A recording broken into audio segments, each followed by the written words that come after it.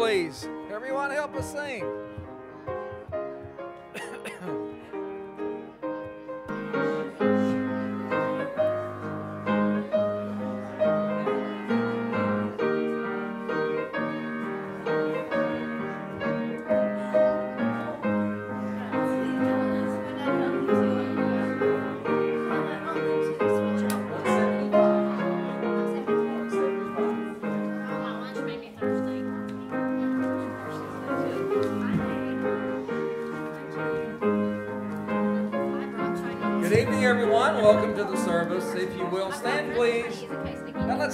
175 in our hymn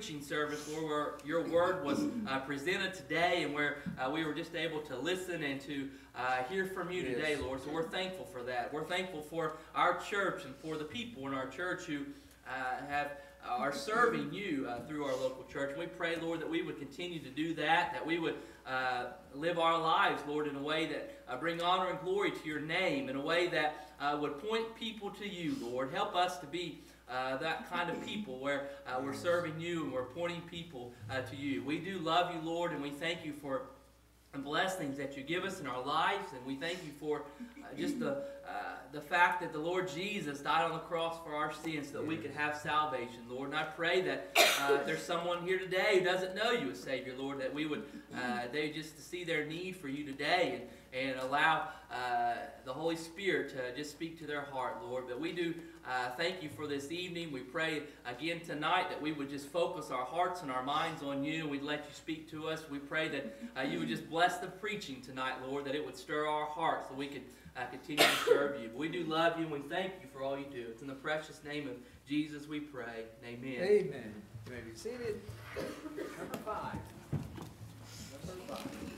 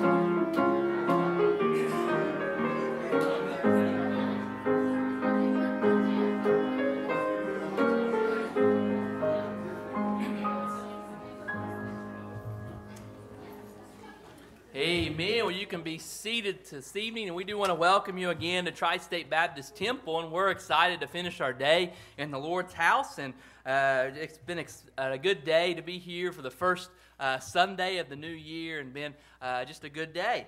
And uh, we do want to make a few announcements, just remind you about a few things again quickly this evening about uh, just some of the things going on in the life of our church. Don't forget that January the 18th is going to be our Vision Day this year. And uh, I really enjoyed when Pastor did that last year. And so I'm looking forward to that again this year. And he's going to kind of look over some things that we've done uh, throughout the last year and then look ahead for this new year. And I'm, I'm excited about that. So I hope you'll mark that on your calendar and make sure that you're here uh, all day on that Sunday, January the 18th, and uh, just be praying for that service. And we want to uh, pray uh, for our pastor as he prepares to preach and uh, on that day. But we want to be our own hearts to be prepared as uh, he gives us, presents to us what the Lord has laid on his heart. We want to now support our pastor and follow the lead that the Lord has given us throughout the next year. And so I'm excited about that, and I hope you will be too.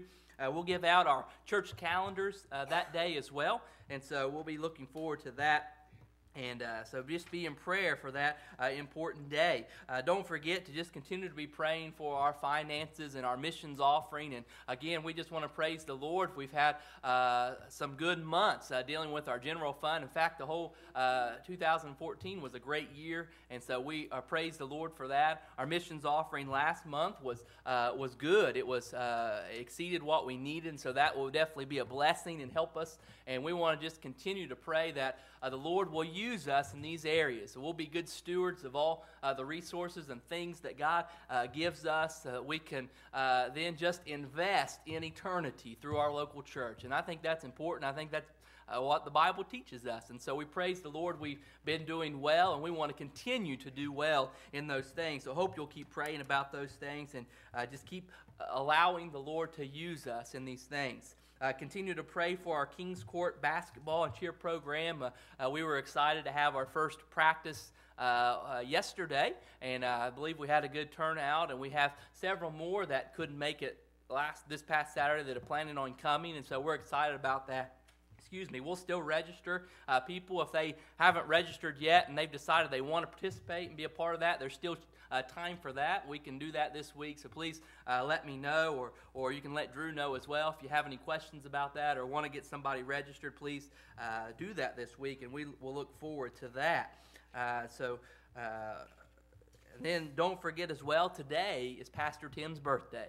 Uh, it's today. And so we're going to have a fellowship after church tonight. want to invite everybody to come after the service tonight uh, over to the ministry center and uh, have uh, some finger food, some desserts, and different things over there and celebrate with Pastor uh, this evening after church, uh, his birthday. So we're excited about that as well. But we will ask our men to come forward this time. We'll take up our tithes offering, our missions offering this evening.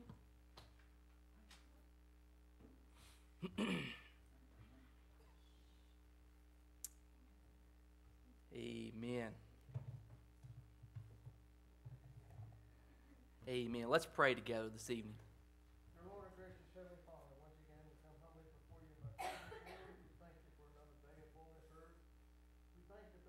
strengthen them, put peace in their heart, with an understanding that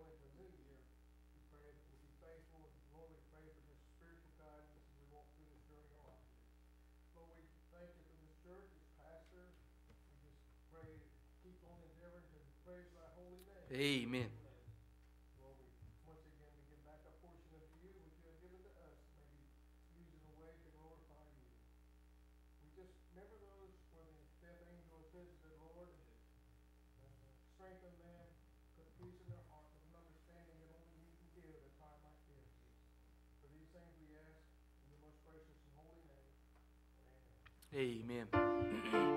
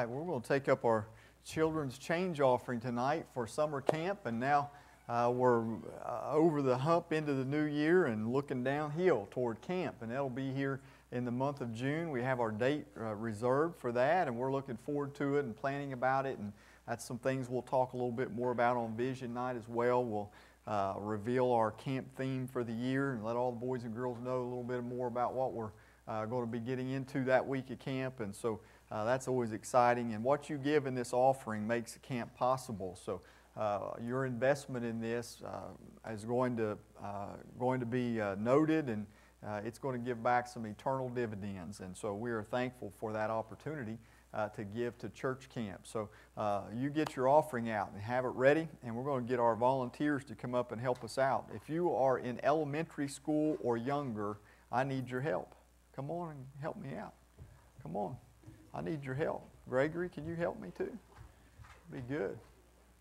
Good job. I like having more. Now, Daniel, you got another boy, don't you? We're two on two here. All right, we're going to, uh, just a minute, pray together and thank the Lord for the offering. And everybody's going to raise their hand that has offering, and all you have to do is just go up there and hold your cup out, and they put money in it. And uh, if you don't think they give enough, then don't move. Just stay there with your cup out, all right? And then you bring it back up here and put it in the jug, all right? And we're going to keep that away, and that's going to help feed you because you guys eat a lot at camp, don't you? Yeah. All right. Well, let's pray together. Father, we are thankful people that we have uh, this new year that lies ahead of us, and God, we know and we have your promise of your presence in our life for the child of God. And Lord, we have the great promise that you have a purpose for us. And Lord, uh, Father, for the greatest time in our lives, uh, Lord, we pray this year we'll know that purpose and live and see it fulfilled. And Lord, we just ask you to bless the offering tonight. Thank you for church camp. And Lord, we thank you for these boys and girls. I pray for each of them that, Lord, they'll know you as their Savior, then know what a joy it is to live for you and to serve you. And uh, we'll thank you for it in Jesus' name. Amen. All right, if you have some offering, just hold your hand up and they're going to come around and pick that up.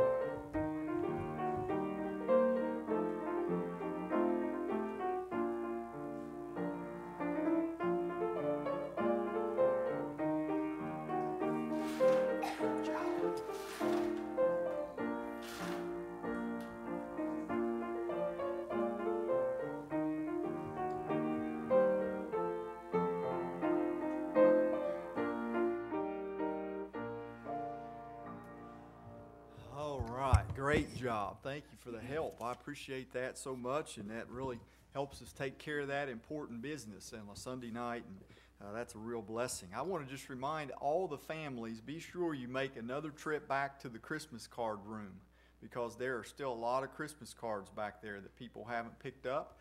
And uh, we're going to go through there this week and separate those out and try to take those that might have been brought in for our shut-ins and be sure we get those to them. But there could still be some cards back there for you, and uh, there could be a gift card to the Cracker Barrel back there, and you don't even know about it. So be sure you go and get them and check. Yeah, there goes somebody back there to look right now. So uh, uh, don't forget about that. Just go back right after the service and make one more trip through there and be sure there's not anything for you. And then we have these three poinsettias that are here and they still look really, really nice. They, somebody can get some good enjoyment out of them. So if these uh, are yours and you'd like to uh, to have them and take them home with you, then please do that, and uh, you can. Uh, you can give them away or just enjoy them yourself, but we sure appreciate you bringing them in. Uh, we tried to have, we felt like the latest list of names in the bulletin this morning of who these things were brought in for. Uh, if you filled out a card and, and we got the card, we had that record. But uh, if you didn't, uh, I apologize that we didn't have that information. But uh, uh, we're thankful and, and blessed uh, to have them. And then I spoke to Miss Kathy today, and she she says and feels like it's going to work out best for for her family on Friday if maybe they just have a couple meat trays or uh, some chips and bread and drinks, those kind of things, rather than have a big full carry-in meal. Most of their family are out of town. They're going to come in and take right off and go back to wherever they've got to go. So uh, what we felt might be best is if you'd like to make a donation toward purchasing those, uh, you can just let mom have that, and and uh, we'll be sure we purchase those things and get them to them. Probably take them before the service, and that way, if they have family who've come into the home before then, because it's not going to be till two thirty, and so that would be good to have it there around lunchtime for her at her home, and then um, a lot of the family again are just going to drop in and go, and she said that will work out best for her. So if you'd like to have a part in that or give something toward that, then you can just be sure you let uh, her have that and let mom have that, and, and we'll take care of that. So, but keep praying for her, and uh, she said she had a good day and uh, rested well last night, and so she's thankful for her prayers and and uh, looking forward to getting back in here when she can. And so uh, just keep praying for her and remembering her. Well, you noticed in the bulletin I'd asked Evan to be prepared to preach tonight, and so in just a minute he's going to come and bring the message for us. But I believe we have a group that's going to sing a special for us this evening. So uh, why don't you all come right ahead, and then as soon as they're finished, Evan's going to bring the message here tonight.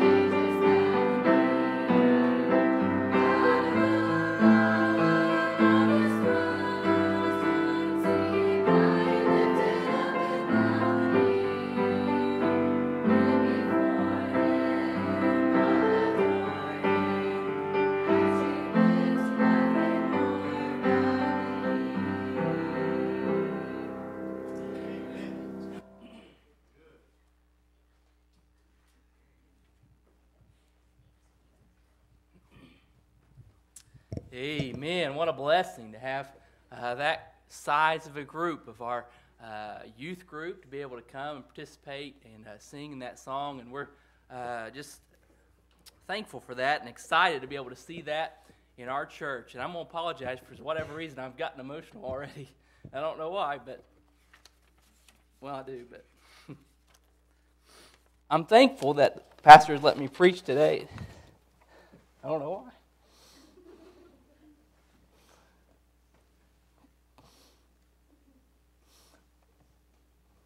I'm sorry.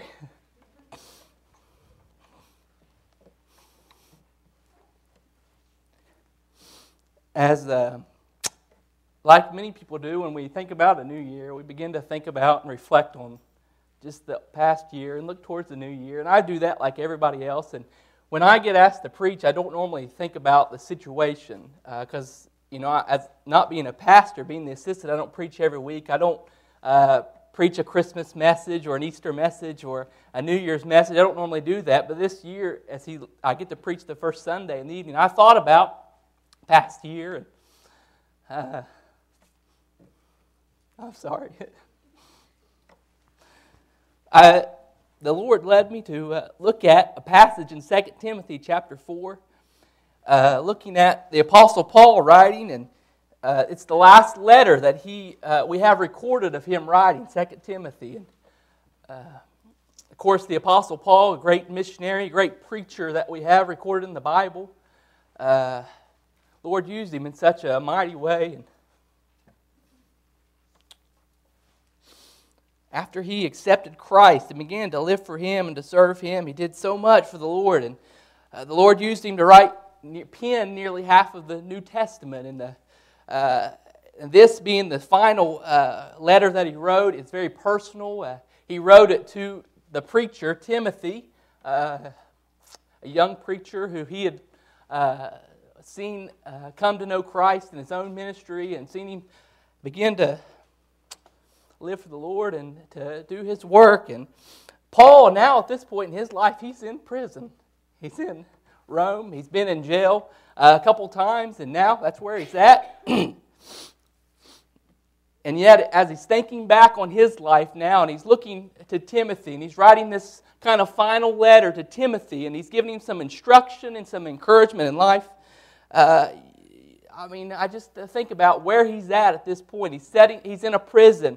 In the in one of the verses we'll read in just a moment, he speaks of needing his cloak or his coat. You can imagine him being cold and being uncomfortable. And uh, throughout his life, he dealt with a lot of um, hardships, and and they tried to kill him a couple times. He was shipwrecked, and uh, he didn't have an easy life. And that was true because he chose to serve the Lord and there he's sitting in prison, and yet he's writing to Timothy, and he's reflecting back on his life and as he's lived, and uh, he wants to give Timothy this final piece of instruction. Timothy, again, was a man that he had won to the Lord and he cared much about. They were living in a time of persecution. Uh, the Emperor Nero uh, was uh, in control at that time, and he uh, didn't like Christians. He persecuted them. I can imagine Paul sitting before him and uh, his time being imprisoned and uh, being in bondage, and how that must have been a scary and a, a terrible thing. Nero was uh, a dictator kind of leader. He just did what he wanted. He was in control. If you think about present day dictators or that dictators that we've uh, thought about in recent history, they're you know we just think of them as evil and uh, you know scary kind. Of, that would be Nero. That's the kind of leader he would have been, and uh, but Paul loved Timothy, and he wanted Timothy to do things the right way. Timothy to do things the way that the Lord uh, wanted him to do. Why I got emotional because I've thought a lot about doing things the right way. And, you know, people don't do things the right way anymore. I'm going to get under control, I think. I'm going to get it. I've been prepared at times incorrectly for the ministry. I got in, I, just didn't know any better, sat under some teaching that was not correct. I'm thankful that the Lord has helped me not follow mainstream kind of teachings and just follow the Bible. Just do what's right. Paul reflected back, and, and I'll speak a little bit about how he had godly people in his life that the Lord brought into his life through his ministry. I'm thankful for what the Lord has done in my life. And so I'm excited to be able to sit in a Bible preaching church, and it's their fault they did it when they sang because I thought about the ministry that we have at our church. We don't do things like other churches, we do things like a lot of good churches, but we are getting outnumbered more and more, but we're doing things according to the Bible, according to God's Word. It's, it's good to see a group that's going to serve the Lord and do it the right way. And it encourages me to keep on doing things the right way.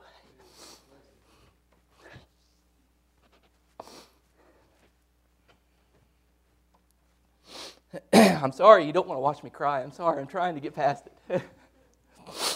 this epistle, along with 1 Timothy and Titus, they're known as the pastoral epistles. Uh, they're written, they're called that because there's a lot of information that help uh, and speak to the office of the pastor. And uh, so that's why, they, why they're called that. And of course, Paul, a veteran now, missionary and preacher, is writing to a pastor to help him with instruction. And uh, it is true that that's these help in the office of a pastor, but it's also very true that they're very relevant and important uh, to all Christians, to all believers. And uh, these letters help us to be better servants of the Lord. And as we look at our passage today, we're going to understand that as Paul writes directly to Timothy, God is using these truths to encourage us and to edify all believers. And so uh, that's what we want to look at today in 2 Timothy chapter 4. And I'm going to begin reading verse number 1 and just see if I can read the verses for a minute and get calmed down. But in 2 Timothy chapter 4, verse number 1, the Bible says, I charge thee, therefore, before God and the Lord Jesus Christ, who shall judge the quick and the dead at his appearing in his kingdom. Preach the word, be instant in season, out of season, reprove, rebuke, rebuke exhort with all long suffering and doctrine. For the time will come when they will not endure sound doctrine, but after their own lust they shall heap to themselves teachers having itching ears they shall turn away their ears from the truth and shall be turned into fables. But watch thou in all things, endure afflictions, do the work of the evangelist, make full proof of the ministry. For I am now ready to be offered, and the time of my departure is at hand. I have fought a good fight, I have finished my course, I have kept the faith. Henceforth there is laid up for me a crown of righteousness, which the Lord, the righteous judge, shall give me at that day and not to me only, but unto all them also that love his appearing. Do thy diligence to come shortly unto me, for Demas hath forsaken me, having loved this present world, and is departed into Thessalonica. Uh, Crescens to Galatia, Titus into Dalmatia. Only Luke is with me. Take Mark and bring him with thee, for he is profitable to me for this ministry. Tychicus have I sent to Ephesus. The cloak that I left at Troas with Carpus, when thou comest, bring with thee, and the books, but especially the parchments. Alexander the coppersmith did me much evil. The Lord reward him according to his works, of whom be thou ware also, for he hath greatly withstood our words. At my first answer, no man stood with me, but all, for, all men forsook me. I pray, God, that it may be that it may not be laid to their charge. Notwithstanding, the Lord stood with me, strengthened me, that by me the preaching might be fully known, and that all the Gentiles might hear. And I was delivered out of the mouth of the lion. And the Lord shall deliver me from every evil work Preserve me into his heavenly kingdom, to whom be glory forever and ever. Amen. Let's pray together as we look at this passage this evening. Heavenly Father, we do thank you for the privilege it is to be able to know you as our Savior, Lord. We're so thankful that you loved us so much that you let Jesus come uh, to earth and to live uh, through the same troubles and trials that we go through, to be tempted like as we are, Lord, but yet He did it without sin. He, he lived perfectly so that He could go to the cross and die in my place, Lord. For my sins and for the sins of each individual sitting here today and for the sins of the world. Lord, we're thankful for that. And we're thankful that not only did he die, but after they buried him, he rose again, defeating death and sin and hell and the grave so that we could have salvation. Lord, we're so thankful for that.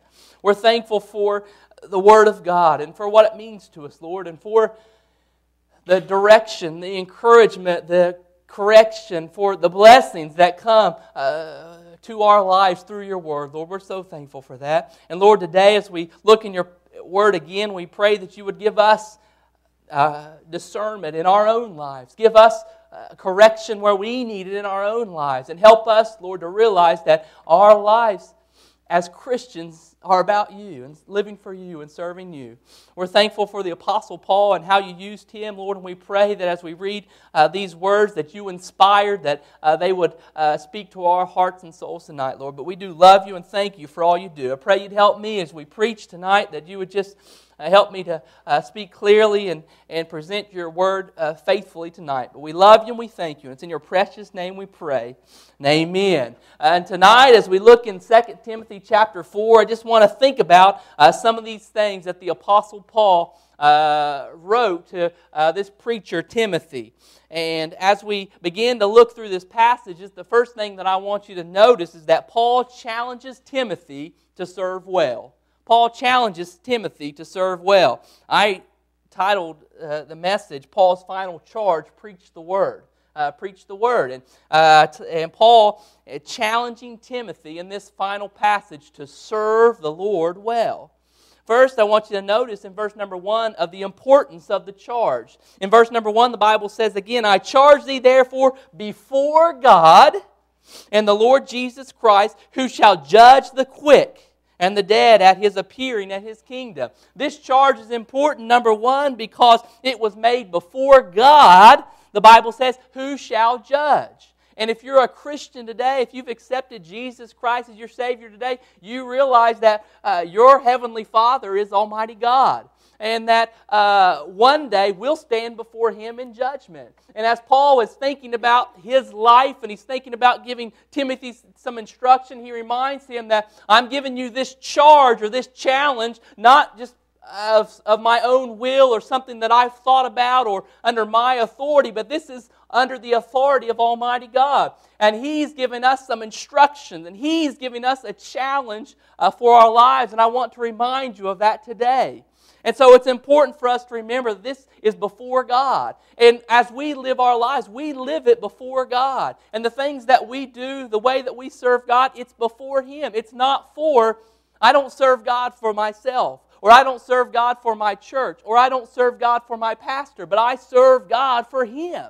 And because He loves me, and because uh, I love Him. And that's why we serve Him. I am aware that one day I will stand before Him in judgment and not to decide whether I get to go to heaven or not. No, the Lord Jesus took care of that on the cross and when I accepted Him as my Savior. But I will stand before Him to give an account for the way that I've lived my life after I accepted Him. And we want to be aware of that. And that reminds us of the importance of what Paul is getting ready to say to Timothy. And so we see that the charge is important, but then secondly, we just want to see what that charge or that challenge is. And simply it is preach the word. Preach the word. Again, we said that. Uh, you know, these are a part of the pastoral epistles, uh, they've been called. And while it is true that uh, called men of God are those who do the preaching uh, in the sense that I'm doing it right now. I'm standing behind the pulpit in the church preaching. It's also true that all believers have been given a charge by God to proclaim the gospel to proclaim the word to the world. And that phrase, preach the word, that's the idea to proclaim or to herald the message that God has given us. And so the, the Bible was very clear in Matthew chapter 28, verses 16 through 20, Mark 16, 15, Proverbs chapter 11, verse 30. All these, uh, those places and many others, the Bible was clear that as Christians, we have been given the responsibility by God to tell others about Him. We call it soul winning because we want to lead people to the Lord. We want to uh, win their soul to the Lord. We want them to accept Jesus Christ as Savior. And so all people have been given, all believers have been given this challenge or this uh, charge preach the Word. And so think about it then for a second. In verse 2, preach the Word, be instant in season, out of season, reprove, rebuke, exhort with all long suffering and doctrine. So, first we see we're to proclaim the message or preach the word. And again, we said that means to herald or to proclaim the message. Uh, listen, if you've been saved today, if you know Jesus Christ is your Savior, you can tell somebody else how to be saved. Uh, you just simply tell them what happened to you. But of course, as Christians, as a new Christian, we can very simply do that. And then as we grow, we become more comfortable with God's Word and we can help better people better understand. And we ought to always be growing in the faith so that we can better proclaim the message that God has given us and that we've accepted and that we believe. So we're to proclaim the message. Also, we're to always be ready.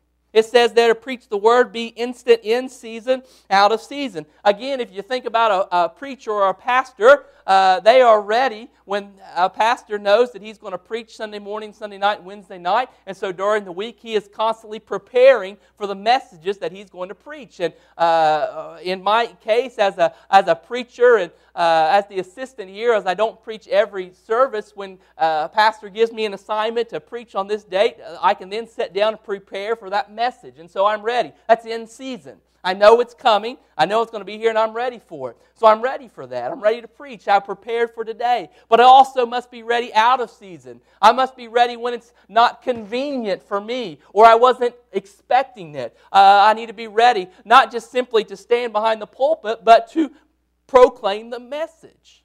And there might be a time when I'm just out about in my day and God gives me opportunity to share the gospel with an individual. Or somebody, uh, maybe this has that happened to you, somebody's come to you and they've asked you a question about the Bible or about uh, something in Christianity. And maybe you weren't expecting it at that moment. Maybe you're mentally weren't ready for that. Maybe you're having a bad day or maybe you're not feeling so well. Uh, you know what? But at those times when God gives us the opportunity, we must be ready to proclaim the message.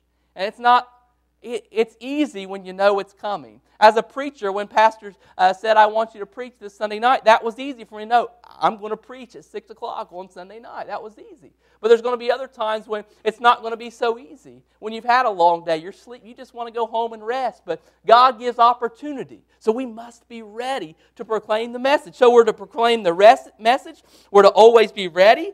In fact, 1 Peter 3.15 says, But sanctify the Lord God in your hearts and be ready always to give an answer to every man that asketh you a reason for the hope that is in you with meekness and, and fear. We're to always be ready to present the gospel or to share with people the love of Christ and the message that God has given us. So always be ready. Thirdly, in that verse, we see those words reprove and rebuke. And you know, we don't always like that part of the message, do we?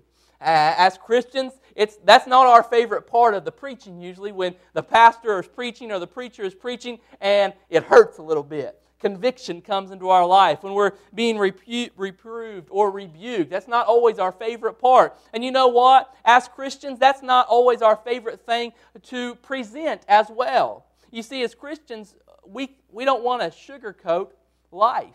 Uh, I was telling my Sunday school class this morning that it's important for people to understand that there's a problem in order to find the solution. If you don't know there's a problem, you won't seek a solution. If you have a home and you have b- bad wiring in the, inside the wall, if nobody tells you or there's no evidence of that bad wiring, you won't seek to fix it. All right? And it will be there until it causes you a problem. And it'll sneak up. If you don't know there's bad wiring, it might create a problem. It might mess something up or, or cause damage and could have been prevented had you known it was there. But if you are going to buy a home or you have some man come and inspect your house and uh, inspect it before you're going to purchase it or those kind of things, and they come and say you have a good home, but this section of wiring right here is bad, you better replace it, then you know there's a problem, so you can go in and fix that problem so that it doesn't cause you problems in the future. Listen, I said, as a church, uh, we're, not, we're not going to sugarcoat anything. We're going to, we're going to preach the Bible. We're going to tell you that sin is sin. We're going to say, Thus saith the Lord. Because somebody who's not saved, when they come into the church house, they need to understand that they're lost. Listen, I don't, I don't want to make people feel bad. I don't want to make people upset. That's not the goal. But I have to preach the message so they can understand that they're lost in order to find the solution. Jesus is the solution for everybody. Everybody needs the Lord. But they're not going to understand that until they realize they have a problem. But the problem of sin, it affects all men. And so to reprove and to rebuke, those are things we don't necessarily like to be a part of, but they're so important in the message of God. And so we must be bold. We must be bold. There are times when you might be witnessing to somebody and they say, Well, I like to participate in this or I like to be a part of that. And some people will tell them that's okay. As long as you love the Lord, you can still do whatever you want to do. Listen, I can't do that. Because the Bible says certain things are wrong, certain things displease Him. So I must, if somebody asks me my opinion about something and I can open up the Bible and say that is wrong, I got to do it. I've got to be bold. Uh, my goal was not to run them off. My goal was not to make them never come back. But I have to do it because they have to understand their need for Jesus before they'll accept Him. So we must be bold in the proclamation of the Bible. Listen, it's not my job to tell somebody to to force to make somebody mad. It's not my job to make to convict somebody. Uh, it's not my job to make somebody uncomfortable. My job is to proclaim the message. It's the job of the Holy Spirit and the Word of God uh, to bring conviction and, and, to, and, and to reprove and rebuke. You know, in, in 2 Timothy chapter 3, back just a little bit, we know that a familiar passage of Scripture in verse 15 that from a child thou hast known the Holy Scriptures, which are able to make thee wise unto salvation through faith which is in Christ Jesus. All Scripture is given by inspiration of God, is profitable for doctrine, for reproof, for correction, for instruction in righteousness, that the man of God may be perfect, thoroughly furnished unto all good works. The Word of God is what is going to do a work in our life. Listen, as Christians, we need to proclaim the message, but we also need to step back and let the Word of God do its work in our lives. Because we know uh, the, the Jesus' teaching, I can't help somebody get a speck out of their eye if I've got a beam in my own. And we've got to let the Word of God do its work in our life so that we can boldly be ready always to proclaim the message. And so we've got to remember that. But then also it says at the end of that to exhort with all long, long, long suffering and doctrine in, in verse 2. Not only are we to proclaim the message, to always be ready, and to be bold in our in our proclamation of the gospel, but we also have to do it with long suffering.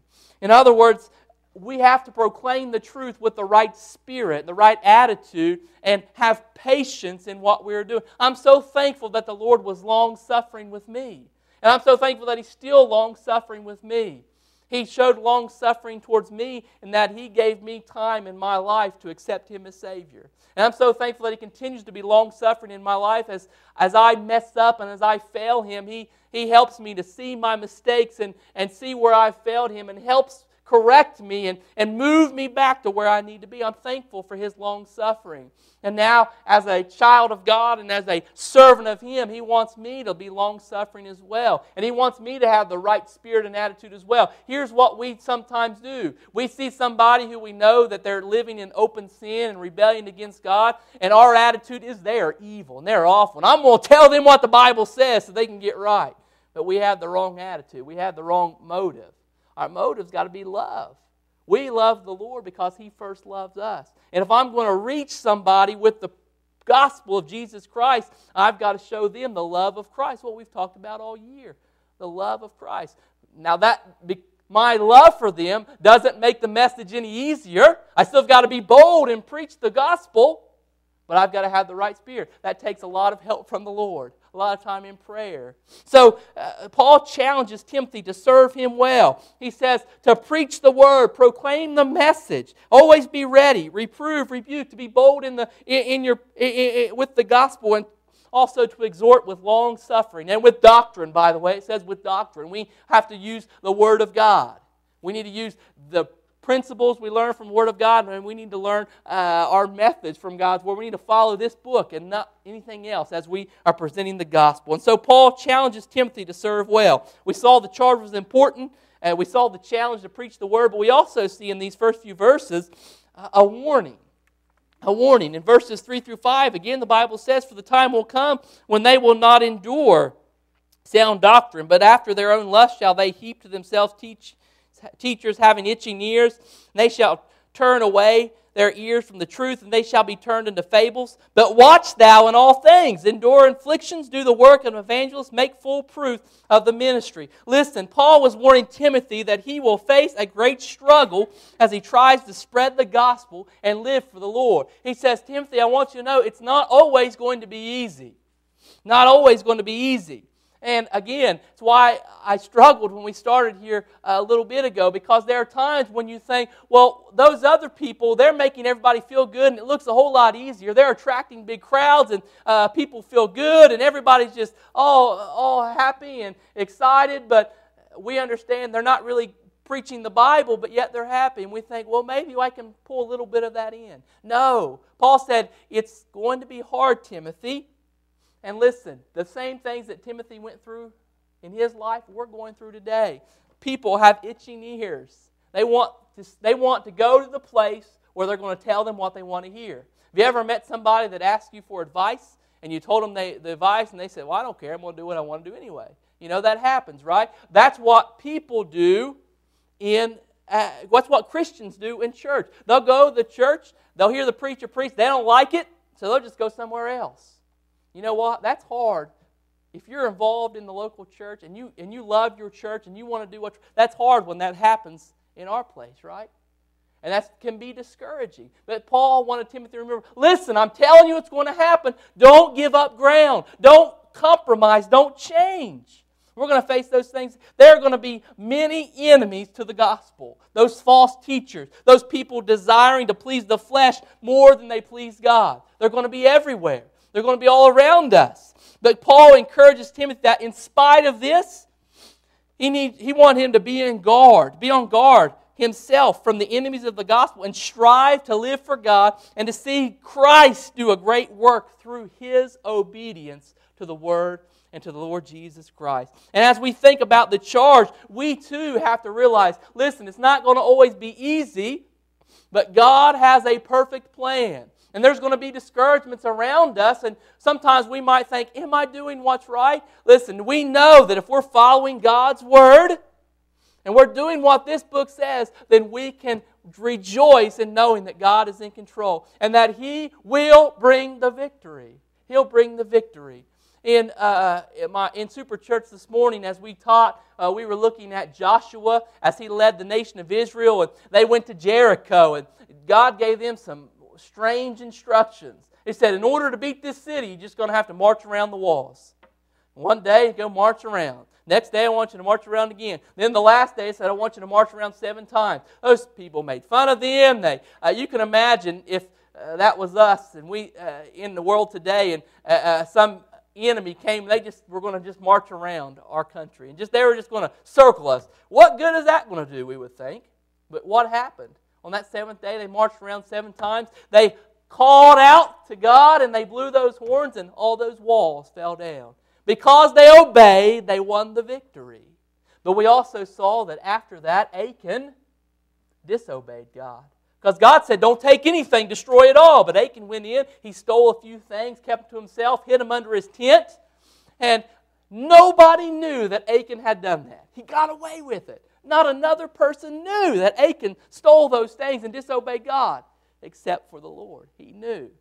Nobody else knew. Joshua saw Ai over in the distance and he knew that was the next place that God had for them to take. And he said, We don't need all these people. We just took great, this great city of Jericho. This will be easy. Sent some men down and they just got whooped. Uh, Ai just took them. And they re- had to retreat. And Joshua said, God, what is going on? How come we weren't able to win this battle? God said, Somebody in the camp has disobeyed. Joshua had to seek the face of God, and the people came together. Achan uh, finally admitted that he was the one at fault. You know what happened to Achan? Achan lost his life because of his disobedience. But you know what? When that was cleared away, everybody in the camp was right with God again. They were able to go back down to Ai and win easily. God gave the victory. Listen, in our lives as we live, there's going to be times when we're discouraged and we think this is not right. There's going to be times when our wallets are light and yet we haven't given our, our, our offering yet or our missions offering yet. We're going to think, is this really what I need to do? All my friends can afford a new car payment, but I can't because I give my missions offering. Listen, the directions from God sometimes don't make sense to us, but He always gives the victory. He always gives the victory. Paul wanted Timothy to remember stand ground, serve the Lord well. There's not a greater uh, life you can have than when you're serving Him well. And so he, Paul challenges Timothy. Paul challenges Timothy to serve the Lord well. Secondly, and I'll try to move fast here, Paul reminds Timothy of his love for Christ's return. Okay, he's challenged Paul uh, excuse me, Paul's challenged Timothy, and now as he's reflecting on his life, he, remind, he wants to remind Timothy the thing that's gotten me through my life, the thing that's kept me close to the Lord is my love for him, my love for his coming. In verse 6, we see that Paul was ready to die. He had lived his life. He knew that the end of his life was coming soon. He said, For I am now ready to be offered, and the time of my departure is at hand. As Paul reflected on his life, he was able to say with confidence that he was ready to meet the Lord and stand before him at the judgment seat of Christ. He was ready for that. Because in verse number 7, he says, For I have fought a good fight, I have finished my course, I have kept the faith. Paul, as he's ending his life and he reflects back on his life, he said, I fought a good fight. He remembered and realized what it was that he lived his life. Remember, before he was a Christian, he was a zealous religious person but he was not following Christ. And he was a persecutor of Christians. He thought he was doing a good thing. He lived his life. He was well respected. He had uh, means. He was, uh, he was in, if we would put him in our society today, he would have been, uh, you know, some great leader in our society today that people looked up to, but he wasn't a Christian. But then he met Jesus on the road to Damascus, and everything changed in his life. And from that point on, his whole life was dedicated to serving the Lord and doing whatever he could to follow Christ. And nothing else mattered but just following Christ. Following Christ. And he remembered that that fight that he was engaged in, that fight against sin and that uh, battle against the flesh and, and, and just seeking to serve the Lord and win battles for the Lord, he realized that was a good fight. What he gave up, that stuff was nothing. In fact, he called it dung. He called it what needed to be in the garbage. Uh, it was worthless. But what he had in Christ, it was the good fight. It was worth it. He said, I've finished his course. Uh, he, he had done the things that God had asked him to do. You think about maybe a, a runner. Uh, they have a, a, course or a path that they need to go, and they run that whole race, and when they get to the finish line, they have finished the course. They have run the complete race. They didn't give up, they didn't fall out before they got to the finish line. They made it all the way there. Paul was able to say, because of his life of service to the Lord and living for Him, he was say, I finished my course. I've done the things that God has called me to do. And then he said, I've kept the faith. He said, throughout my life, from the time I've accepted Him, He's not saying he was perfect and he never messed up, but he was saying that uh, I have kept the faith. I have relied on the Lord. I've stayed close to Him and I've served Him with my life. Paul, as he reflected on his life, was able to say with confidence he was ready to meet the Lord because he fought a good fight. He kept the course and he finished his course and he kept the faith. And then Paul also wanted to remind Timothy that he was going to receive a crown of righteousness. Look at there again in verse number 8. He says, Henceforth there is laid up for me a crown of righteousness, which the Lord, the righteous judge, shall give me at that day, not to me only, but unto all them also that love his appearing. The Apostle Paul was going to receive a reward, this crown of righteousness he was going to receive that because he was a man who loved the appearing of Christ or uh, the coming of Christ. He loved the fact that Jesus was coming again. He lived his life in anticipation of the fact that the Lord was coming again. All that he did, he knew that Jesus was coming again, and so he was working towards that time when he was going to meet his Savior. And so all the secondary things in life didn't matter so much. All that mattered was that Christ is coming again, and I'm going to work towards the fact that he's coming in. He loved his appearing. But what does that mean? It says, because it says there, Paul reminds us that all who serve the Lord as someone who loves the coming of Christ will be able to receive this reward or this crown of righteousness. Well, how then do we live in a way that we love the appearing of Christ? Well, we live a righteous or obedient life serving the Lord. He said, uh, again, uh, the righteous judge shall give me at that day, not to me only, but unto all them also that love his appearing. Uh, because he fought a good fight, because he had kept the faith and finished his course, because he was living obediently and serving the Lord according to God's will, he was able to live in anticipation of the coming of the Lord. But let's think about this. If you're not right with the Lord, if you're living in sin, if you're not doing things that you're supposed to be doing in your life, you know, maybe you, you don't study the Bible like you ought to, or maybe you're not in prayer like you ought to be, maybe you're not faithful to the house of God like you ought to be, uh, maybe uh, there's other things in your life you know that displease the Lord. When you live in that state in your life, you're not excited about Christ coming. Because you know you've got to stand before him at judgment. Remember, he spoke of judgment right at the beginning. But because Paul was living righteously or living in obedience to the Lord, he was excited that the Lord was coming again. And that's what God wants for all of us. He wants us to be able to live in that state of excitement and joy and, and peace and contentment and, and all those things to be, uh, to be evident and manifest in our life. And that is only possible when we're living in obedience to Him. And so when we forsake God's work in order to pursue other things in life, whether it's money or our career or whether it's just our hobbies or the things that we like, sports, hey, doesn't that take away most a lot of our families from the house of God and the work of God? Uh, sports, uh, hobbies, all those things. When we pursue those things, we leave out the work of God. And when we do that, we are not in obedience to Him, and then we can't love His appearing because we're not looking forward to that. We're going to be, we're going to be, instead of being able to stand before Him unashamed, we're going to be afraid of being ashamed as we stand before Him. And we'll not think about God anymore. And we'll try to put those things out of our mind because we know judgment is coming. A Christian knows that judgment is coming. But for the Christian, the servant of God who's wholeheartedly serving Him with all of his heart, he's excited about the second coming of the Lord because he knows all that He's done, that good fight, finishing the course, keeping the faith, is leading to eternal life in heaven with our Savior. And what, what a joyful, wonderful truth of God that keeps us moving, keeps us motivated, and helps us to realize this is just a, this life is a vapor. One day it's going to be gone, just in an instant, and then I'll stand before Him. And all that I've done here, the only thing that's going to matter is what I've done for eternity. It doesn't matter how big my house is, or how nice my car is, or any of those things. What matters is how I've served the Lord. How I've served the Lord.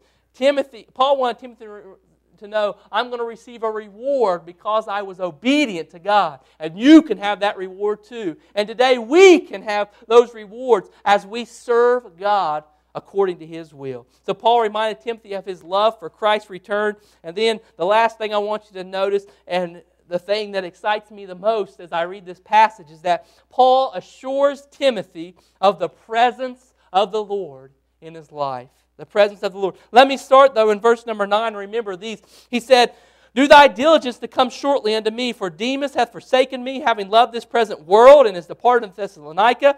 Uh, Crescens to Galatia, Titus to Dalmatia. Only Luke is with me. Take Mark and bring him with me, for he is profitable to me for the ministry. Tychicus have I sent to Ephesus. The cloak that I left at Troas with Carpus. When thou comest, bring with thee and the books, especially the parchments. Alexander the coppersmith did me much evil. The Lord reward him according to his works, of whom be thou also aware, for he hath greatly withstood our words. In these few verses, we see that in Timothy's life, God brought people into, excuse me, in Paul's life, God brought many different people into his life. There were some, like Timothy, who God brought into his life were a great blessing to Paul. And Paul said, Timothy, do diligence to come to me shortly. He said, I want to see you one more time before I die. Because he loved Timothy, he cared about him, because they had a uh, unified spirit because they both just wanted to serve God and please Him. He said, I wanted to see Him. There were other men in Paul's life that were great blessing to him, and God used in his life to help him better serve the Lord. For instance, in verse 11, we saw Luke. Verse 12, that Tychicus. Verse 13, that Carpus. These men God used to, to be a help to, to Timothy in his life. And we praise the Lord in our lives for the people that God bring in our lives that help us live for Him and to serve Him and just uh, enjoy the Lord in our lives. We're thankful for those people. Paul had those people and he was excited about that. But Paul wanted to let Timothy know as well that there have been some people, there have been some relationships in my life that have become a discouragement to me.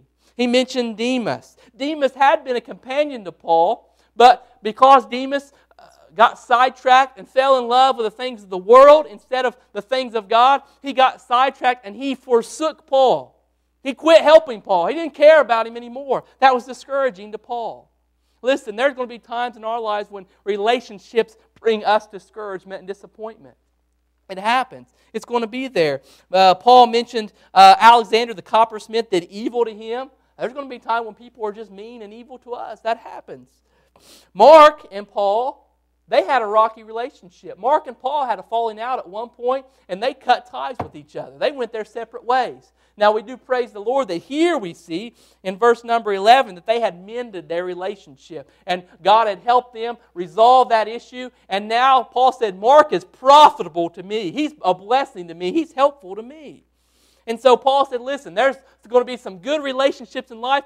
Praise the Lord for those. Uh, uh, stay close to those godly counselors in your life and let them let God use them in your life. He said, "Listen, there's going to be some disappointments and discouragements in life, but here's the thing that I want you to remember. When we get to verse number 16, he said, "At my first answer, no man stood with me." Paul's now thinking about his prison sentence again and thinking about standing before uh, we might think of the judge and getting uh, you know going through a trial that kind of thing and he said nobody stood with me all men forsook me. He didn't have anybody there to help him.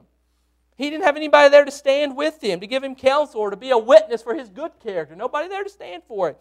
He said, I pray, God, that it may not lay, be laid to their charge. Notwithstanding, look at verse 17.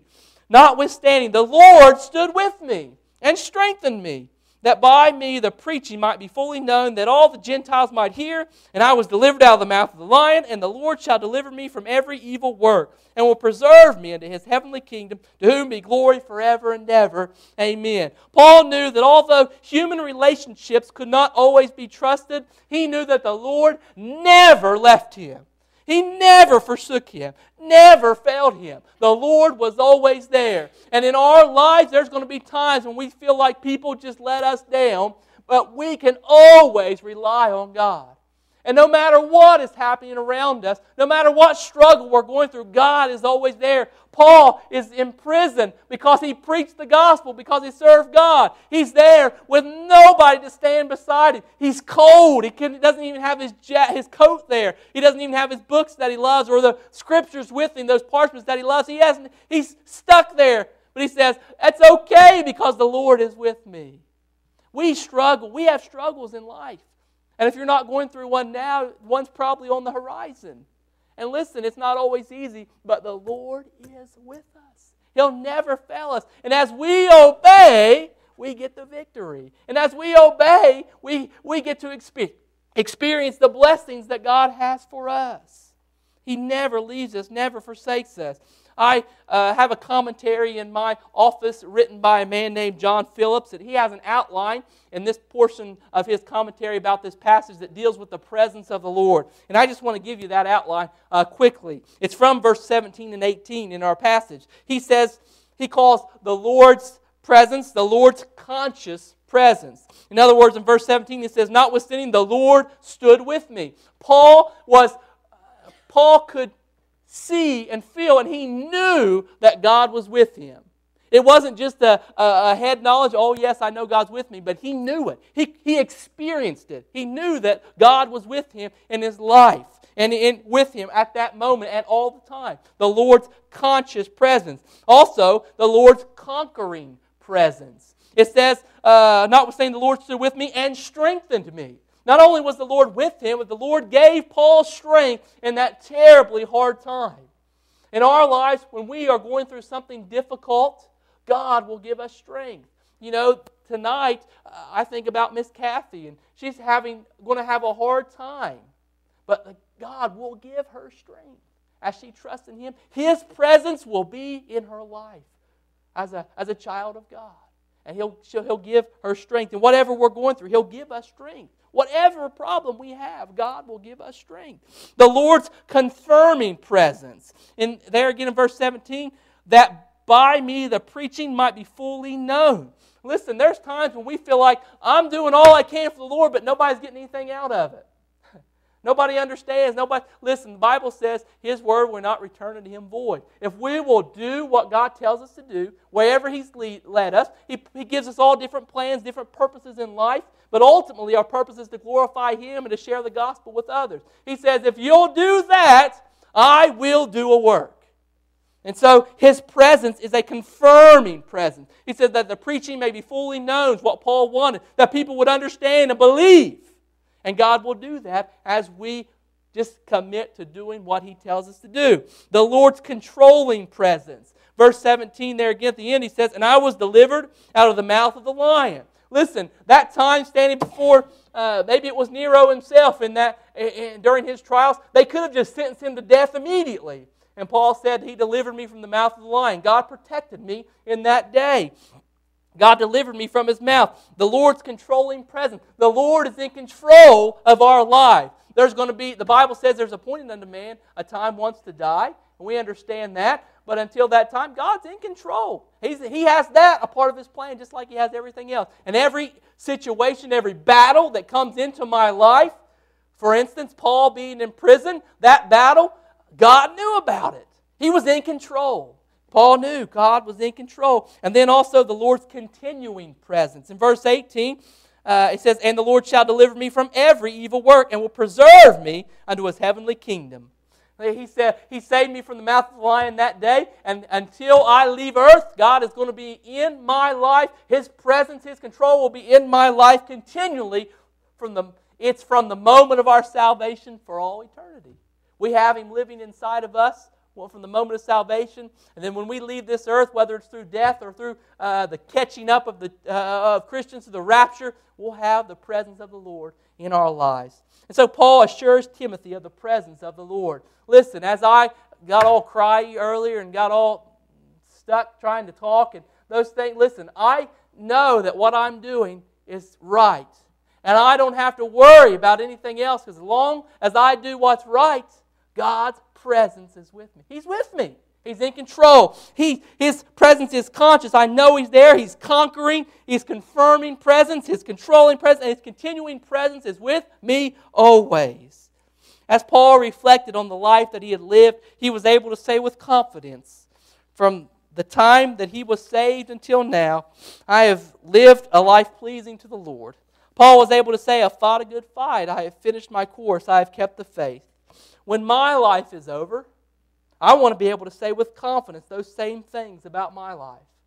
I don't want to, I want that to be from now for the, the rest of my life. If God gives me one year let more in my life, or if He gives me 80 more years in my life, whatever it is, I want every day to be characterized by somebody who has lived completely sold out to Him. I struggle with that just like everybody else. That's not always easy. I fight the flesh. Again, hence the teary eyes there earlier. It's hard, but God is with us. We've got to surrender to her. We need to be soul winners. Our goal should not be our careers. Our goal should not be even our families. Listen, that's secondary to God. Because when I'm serving God right, I'm taking care of my family right. My goal, my, my, my life is not about my hobbies or my goal is not about trying to bring myself joy. My goal is serving Him. And when I'm doing that, everything I thought I wanted falls out of my mind, and everything that makes life wonderful comes into my life as I serve Him. The Christian life is about serving and living for God and Him alone. There's no fear, there's nothing to fear, no reason to hold back, because as Christians, we live with the great truths of God's presence always present in our life. I don't have to worry about my health and my bills and all those things. If I trust God, He'll take care of them.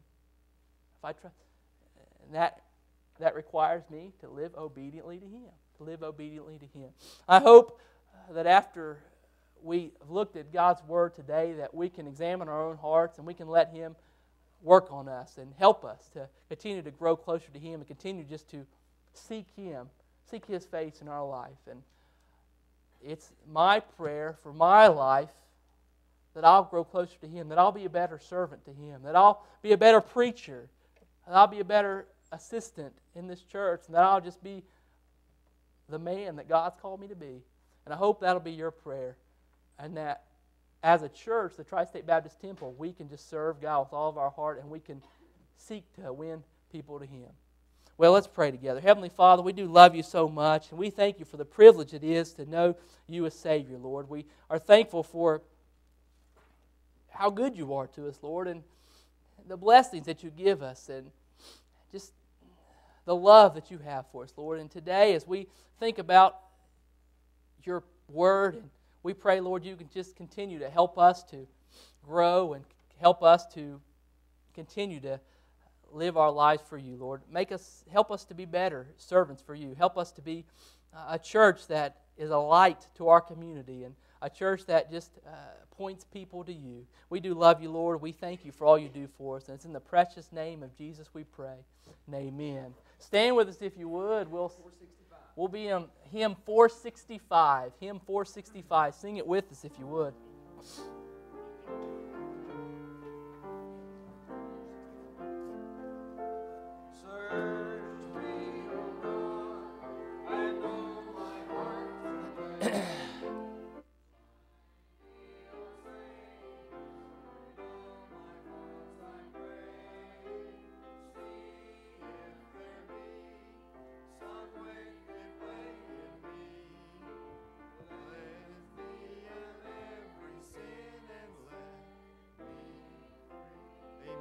Sing the next verse in a moment, but I'm thankful for a great message, very needful message, a timely message at this time of the year.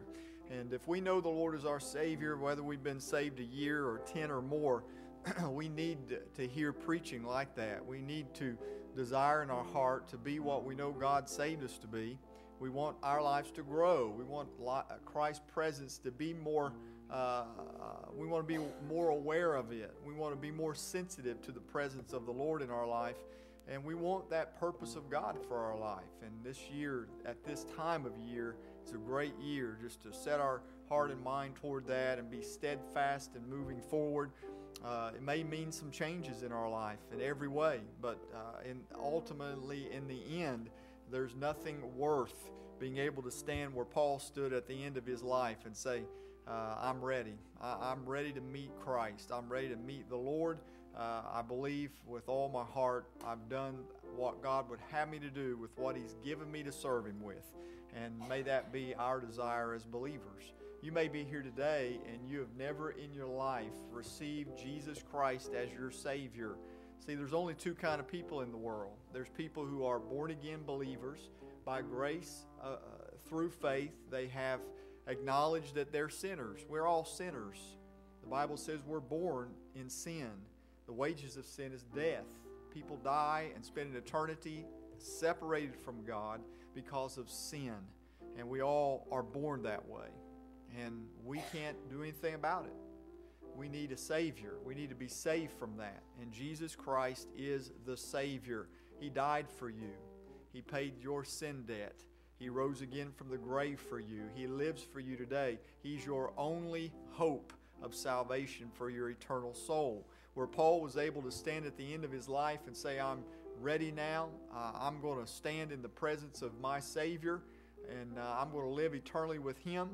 Uh, Paul could say that because of his faith in Christ. If you're here today and you've never received Jesus Christ as your Savior, uh, today that's the greatest thing that is the most necessary thing in your life. Know Him as your Savior. Uh, ask Him to forgive your sin. Come into your heart. Take control of your life. And, uh, and allow Him to do and be for you what He wants to do and be. So today, that's the greatest need. maybe you're here today and you'd say, I need someone to take the Bible and show me how I can be saved. I need to know how I can be saved. Then this invitation time is for you. This is why we do what we do. Uh, we're giving you that opportunity. You say, maybe after the service, I'd like to meet with you and talk to you about that. We will. We'll meet with you. We'll talk to you. Uh, but uh, today, this is an important thing for all of us, whether you're here and you know the Lord or not. Uh, great message, and uh, we want to be obedient people to the Lord. Let's sing that last verse, and uh, let's just uh, obey the Lord. Oh, Holy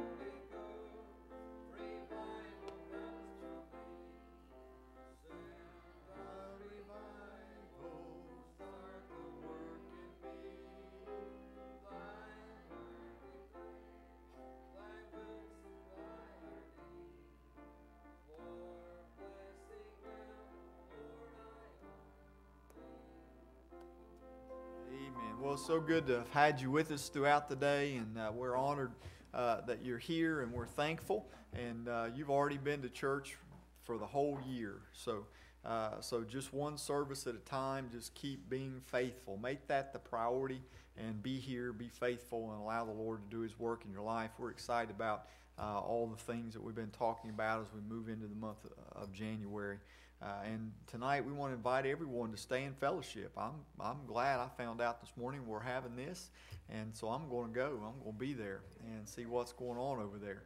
I know Ava brought some cupcakes, so uh, she might need help eating those, and uh, and so we better go help out.